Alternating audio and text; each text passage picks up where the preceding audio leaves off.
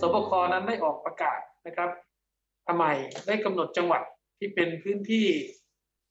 นะครับ ที่มีความเข้มงวดนะครับ สูงสุด แล้วก็มีประกาศจังหวัดใหม่ ๆ ออกมา ก็ขอให้ทุกท่านนะครับ ได้ศึกษาและ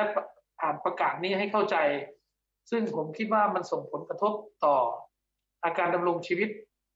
ของพวกเรานี่ประการที่หนึ่งนอกจากนั้นกระทบต่อวิธีการทำงาน ของพวกเราเป็นเรื่องที่สองแล้วกระทบต่อสถานการณ์นะครับ ในการที่จะจะ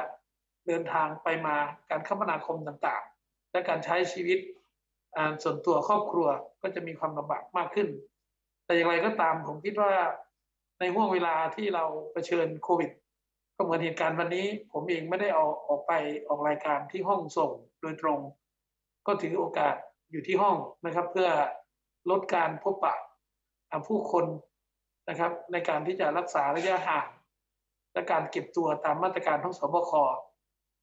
ก็เลยถือโอกาสส่งสัญญาณจากห้องทำงาน ไปยังพี่น้องเพื่อนครูทั่วประเทศ